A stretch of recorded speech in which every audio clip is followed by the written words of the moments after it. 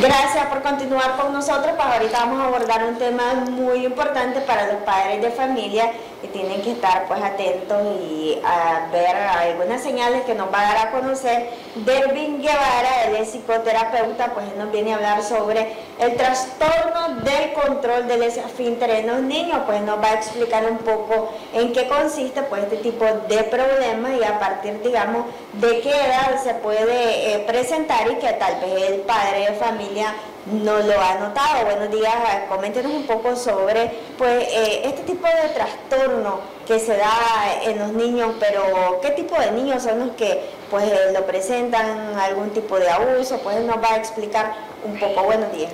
Muy buenos días, gracias por la invitación y este espacio. Bueno, en este caso vamos a hablar sobre el trastorno del control del esfínter en los niños y las niñas. Este es un trastorno de origen psicofisiológico estaba comentando que el 95% de los casos de los niños que sufren el trastorno del control del esfínter se debe a una causa psicológica, es decir, emocional, y un 5% según las estadísticas por eh, algunas complicaciones fisiológicas. Entonces, cuando hablamos de trastorno del control del esfínter, estamos hablando de que el niño ha llegado a una etapa de su desarrollo en que no controla eh, la expulsión de, la orina o las heces. Es decir, hay niños que de 6, 7, 8 años aún eh, en de forma diurna o nocturna no pueden controlar la expulsión de la orina o la S y entonces los padres, pues esto es un dolor de cabeza para los padres, es mucha vergüenza para los niños y principalmente pues este, si no se aborda correctamente este trastorno puede exacerbar el mismo trastorno y desarrollarse en, otros trastornos comórbidos. Digamos ya qué edad es que se puede decir que está pasando por este tipo de trastorno. Ok, lo, que se espera es que los niños en los primeros cinco años de vida un poco más, quizás algunos hasta los seis años puedan controlar eh, eh, este, eh, esto, ¿verdad? Es decir, que a un niño de cinco o seis años ya debe avisar, debe poder retener la orina, la S, poder ir al baño, si está en el centro educativo, poder informar a la maestra que necesita ir al baño.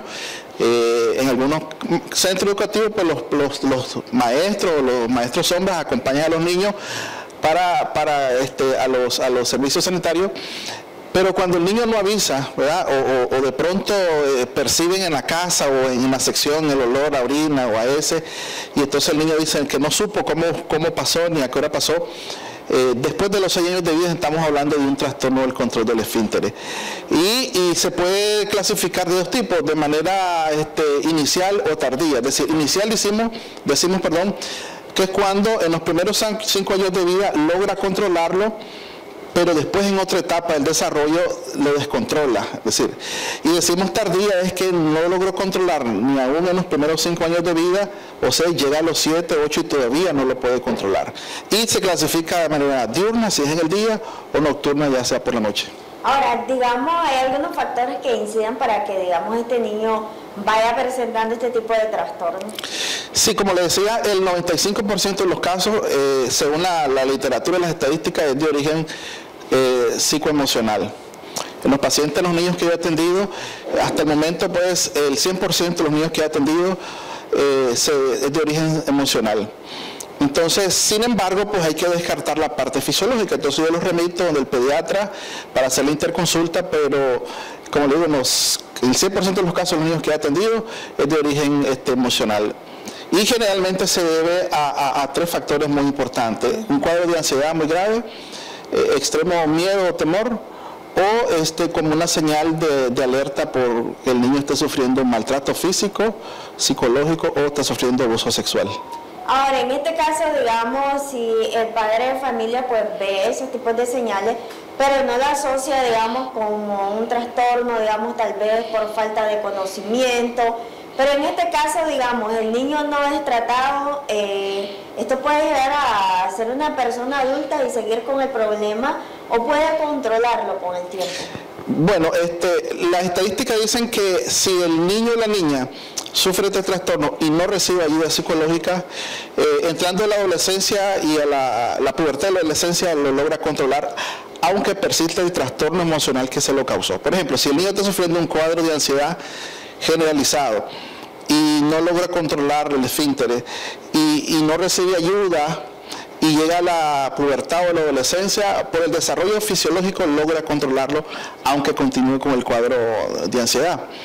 E, el problema que sucede en nuestro país es el abordaje, se, se percibe, los padres perciben de que o creen que cuando el niño o la niña no avisa, es por simplemente por maña o simplemente porque como está este, tan concentrado en el juego o en lo que está haciendo, entonces no avisa o, que es, o, pereza. Entonces muchos padres eh, lo primero que hacen es regañar, pegar, maltratar, eh, amenazar de que si no lo controlan le van a controlar a, los compañeritos, le ponen queja a la maestra, a los abuelitos, y entonces el niño se ve expuesto más que recibir una ayuda, eh, se ve expuesto o a que sufra bullying o a que sea este, eh, ridiculizado en público.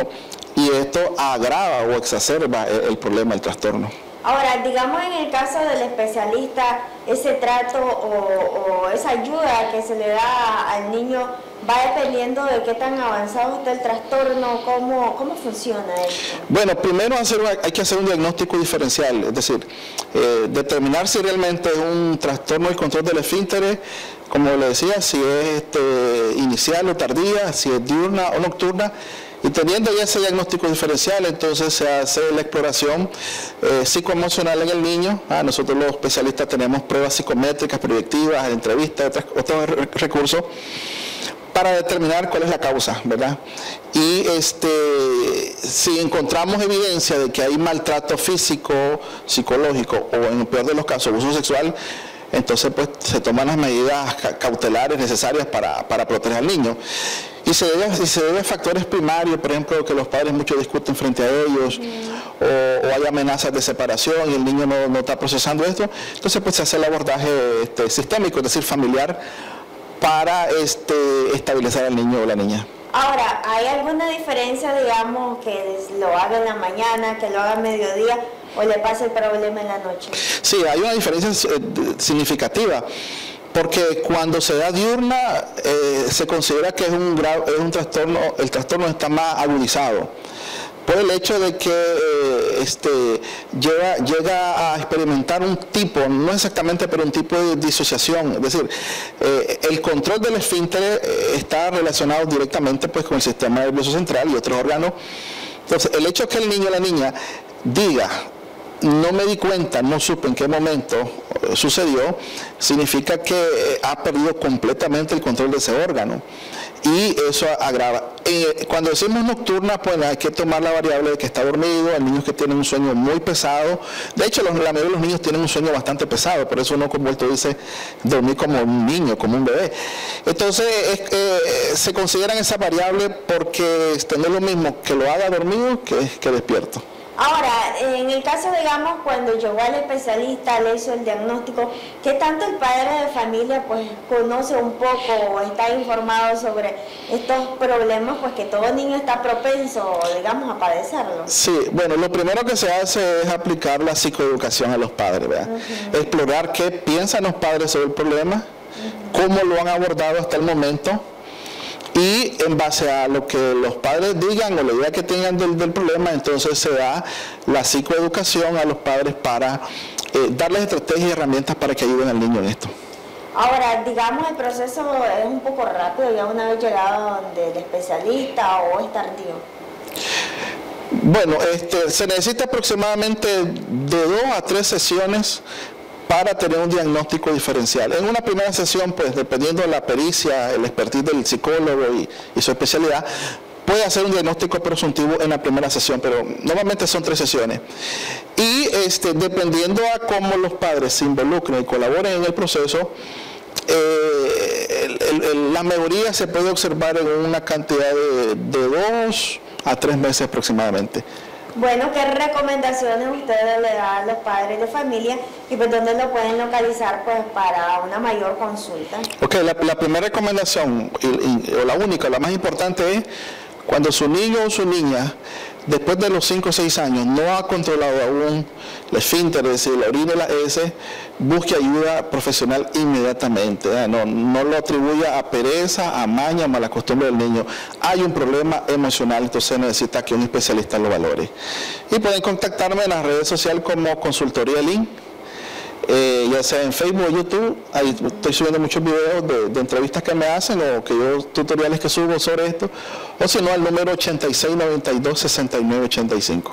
Bueno, muchísimas gracias por esta importante información y recomendación para los padres de familia, porque tal vez tienen su niño que está pasando por este tipo de problemas. Nosotros así nos vamos nuevamente a una pausa comercial.